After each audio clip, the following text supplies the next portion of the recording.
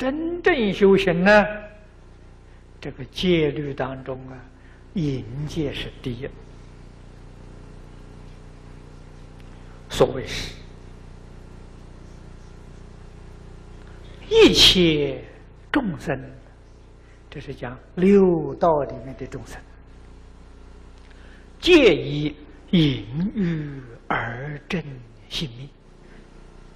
啊，你为什么会在六道里面投胎、舍身、受身呢？就是这个念头没有断。啊，那么换一句话说。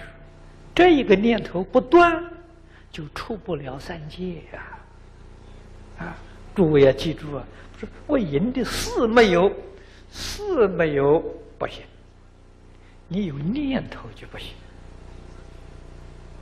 啊，粗的念头没有，你有细的念头还不行。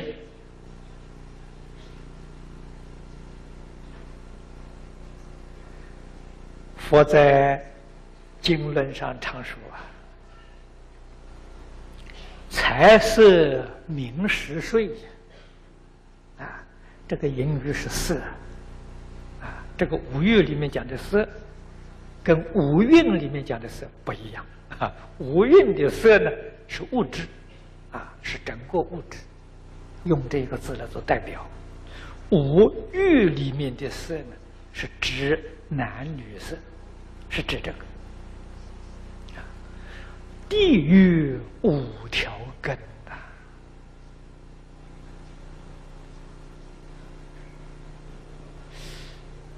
一切六道众生不能超越三界轮回。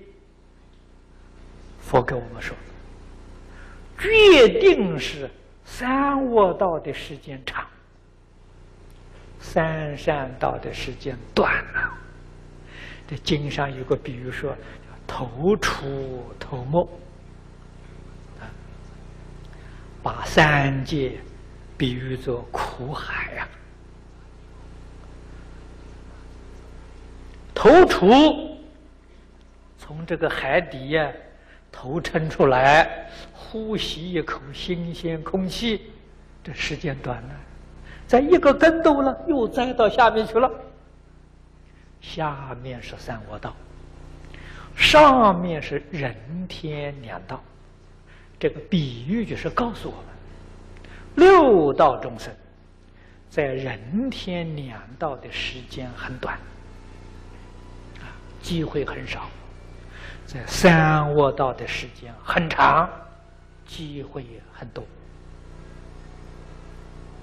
啊，原因在哪里？贪着。财色名食睡，贪着五欲六尘啊！五欲里面最严重的是色！所以佛在此地啊，第一个就把这个生死第一个因素、最主要的一个因素为我们提出来了。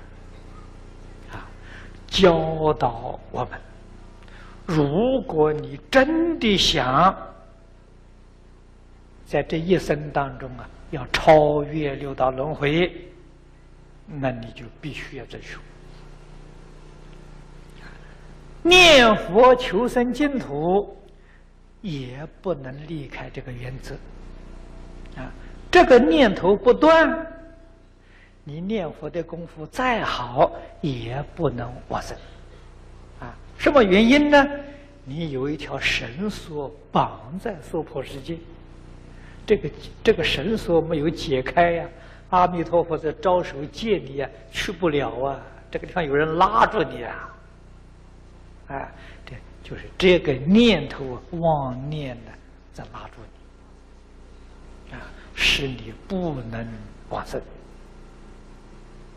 所以说，必须要把它断得干干净净啊！所以佛在此地，这个一开端呢，就把生死根本呢说出了啊。若诸世界六道众生，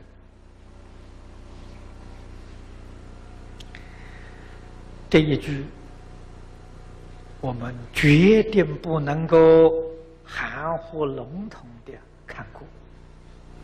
诸世界，不只是我们娑婆世界。换一句话说，十方三世一切诸佛世界。只要有六道众生，那个世界都是这个情形，都离不开这一个原则啊。佛讲了，其心不隐。这个心里头，真的把淫欲的念头啊断干净了，没有了，那他就不随生死相续了。这个生死相续就是六道轮回啊。换一句话说，他不随呀，就超越六道轮回了。那么由此可知，只要这个念头不断。他就决定出不了三界，决定啊还要受生死相续，这是佛把这个真相啊为我们一语道破啊。